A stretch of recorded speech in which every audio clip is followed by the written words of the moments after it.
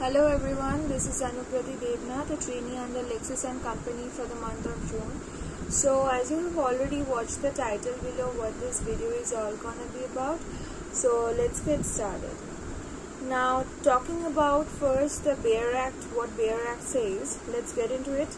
All agreements are contracts if they are made by the free consent of parties.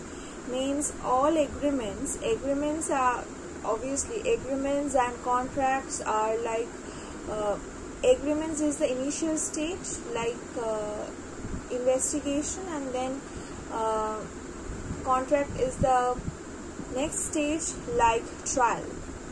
So that's why uh, it is said that agreements all agreements agreements can happen every, each and every day. But if it's lawful and it's have all that law boundaries or all that law ticks and it is called as contract.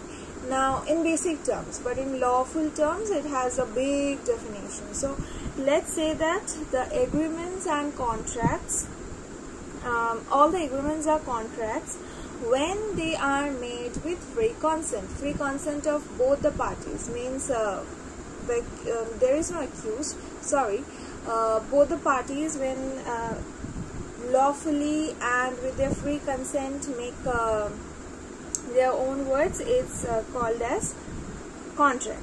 Now competent to contract for a lawful consideration and with lawful object means they are obviously making the free consent but the terms and conditions and whatever they are talking about it should be lawful abiding of what they are writing or what they are um, agreeing on the topic it should be lawful and what they are saying even that should be lawful. Mean lawful in every aspect and are not hereby expressly declared to be void.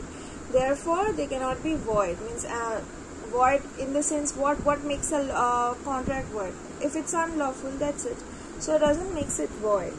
All agreements are contracts. Dot, dot, dot.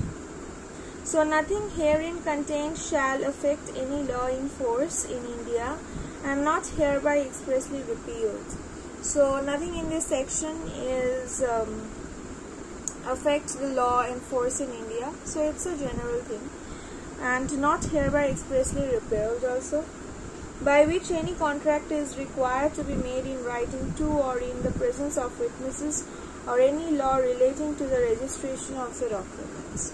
So the law is, uh, the contract will be said as really lawful if the registration process is done and if so and so is done like all of the thing writings and all presents are really lawful.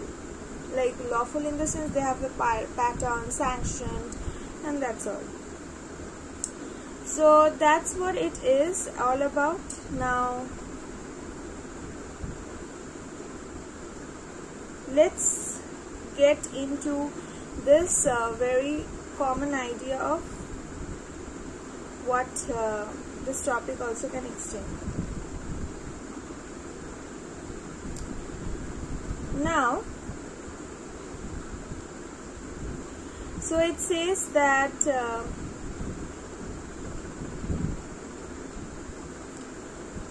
the including of a contract, like what makes a contract, there should be a promise, consideration, then enforceability of the agreements these are free consent. These all are the few ingredients that makes up a very big dish of a contract okay. Now there will be many cases that you will even get from your google i think. Um, so now i will be talking about mostly asked questions under section uh, 10 of the indian contract act Number one is are all agreements are contracts? Not at all. As I saw the difference between all agreements. Agreement is this initial stage. Now it says lawful, enforceability. If the ingredients means the contract has its own ingredients. So if the ingredients match, then it will be a contract.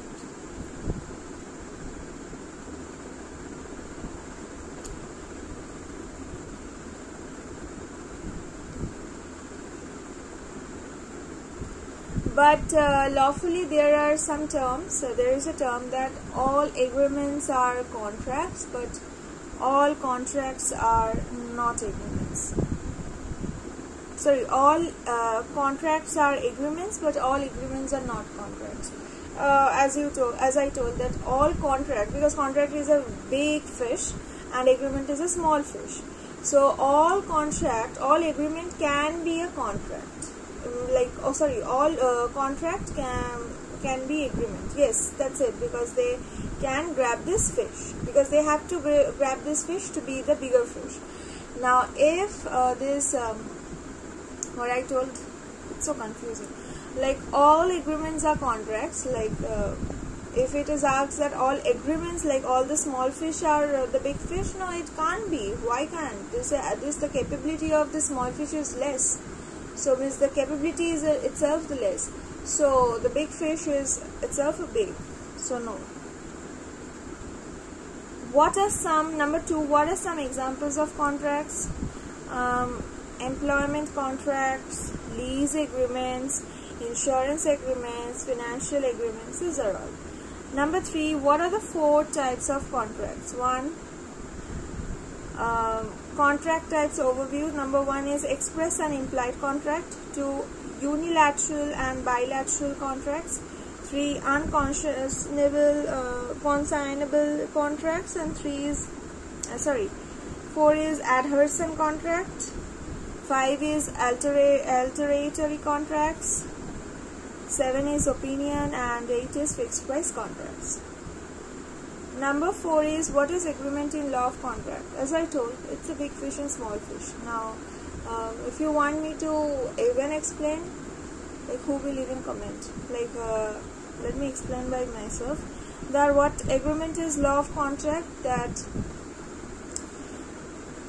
According to Section 2 of the Indian Contract Act 1872 says all agreements means every promise and every set of promise forming the consideration for each other is an agreement. So now what is agreement in law of contracts? That is what is.